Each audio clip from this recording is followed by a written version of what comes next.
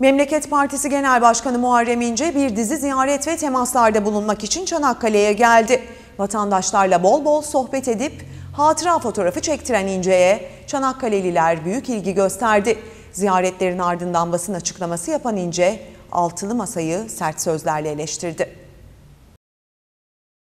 Memleket Partisi Genel Başkanı Muharrem İnce bir dizi etkinliklere katılmak için Çanakkale'ye geldi. Kordonda yürüyüş yaparak şehri turlayan İnce vatandaşlarla bol bol hatıra fotoğrafı çektirerek onlarla sohbet etti. Ziyaretlerin ardından bir basın açıklaması yapan İnce altılı masayı sert sözlerle hedef aldı.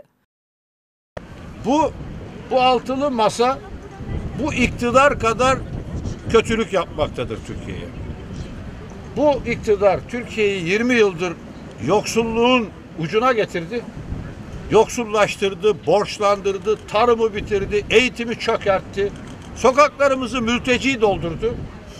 Ama bu yaptıkları, bu altılı masanın yaptığı açıklamalar tam da Erdoğan'ın işine gelen açıklamalardır. Aslında Erdoğan'ı desteklemenin gizli yoludur.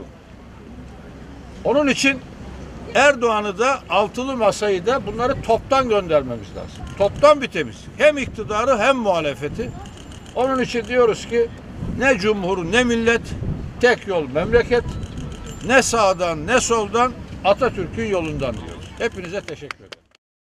Daha sonra belediye çalışanları eğitim ve sosyal tesislerinde gençlerle buluşan İnce onlarla sohbet ederek parti çalışmaları hakkında bilgiler verdi.